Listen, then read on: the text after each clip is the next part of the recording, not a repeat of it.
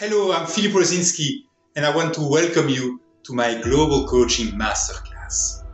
I'm looking at six perspectives that I found particularly useful for both professional coaches and leaders. When people feel better, are in better shape, they will be less absent, they will have greater productivity, and it will also reduce presenteeism.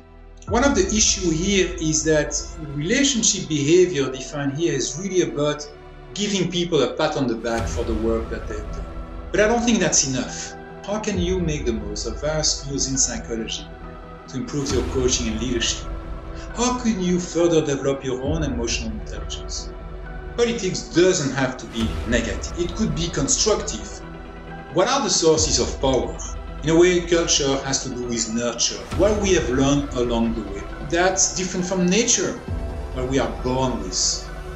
You are welcome to try it out. There is a complementary version that you can use.